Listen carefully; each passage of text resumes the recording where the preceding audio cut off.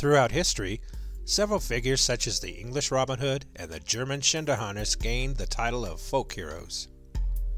They stole from the rich and gave to the poor, and fought against the injustices of the rich and powerful.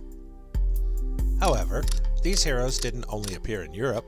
During the 16th century, a figure named Goemon Ishikawa appeared in Japan, and during his life he turned the island upside down as he wreaked havoc among the rich and powerful.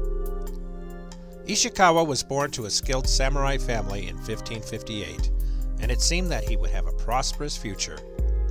However, disaster struck in 1573 when Ishikawa's family was slaughtered by the men of the local leaders.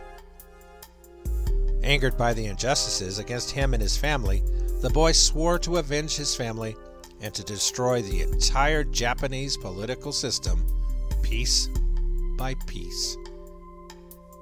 After losing both of his parents, Ishikawa had no place to go and decided to join the infamous Iga clan.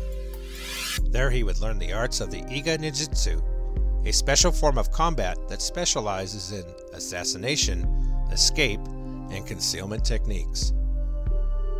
Ishikawa would go on to be one of the most promising students of the Iga clan. However, a few years after his arrival, he was forced to flee when his master discovered Ishikawa's romance with one of his mistresses.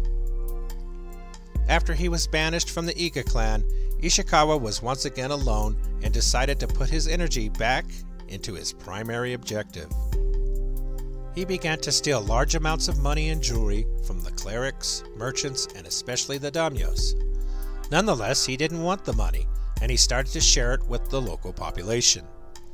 As he kept on stealing, the word began to spread, and people from all over Japan began talking about the mysterious but righteous ninja. However, the powerful daimyos also began to notice the impact of the unknown hero farmers and workers all around the Kansai region began to steal small quantities of food and money to help each other out. The situation was slowly getting out of the hands of the local leaders, and they were obligated to use all their resources to find and stop the unknown ninja. A few months later, the daimyos finally struck luck and captured the thief that had worked with Ishikawa only a few weeks earlier. He eventually revealed the identity of the righteous ninja, and as such, everyone in the Kansai region began to search for Ishikawa.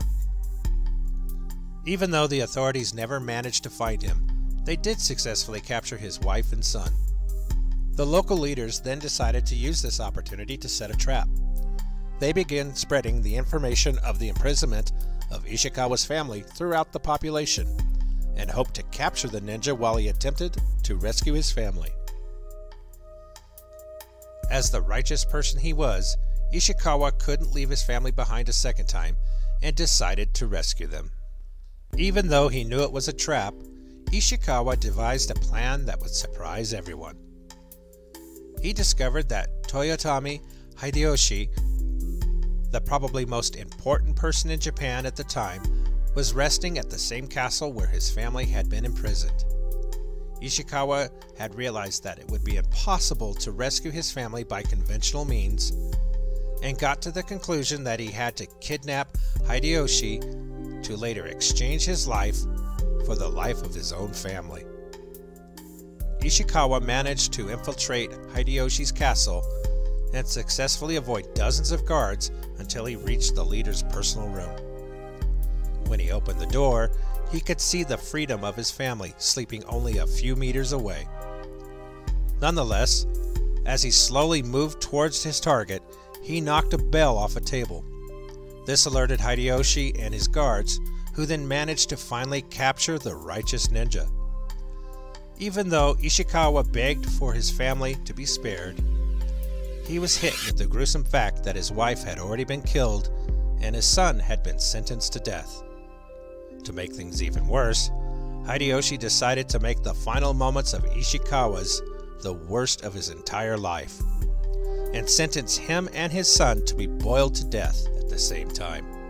However, as Ishikawa's skin slowly boiled away, he held his son over his head and proudly shouted that as long as he was alive, he would never watch his family die again. If you enjoyed this video, please hit like and subscribe for more weird and awesome content.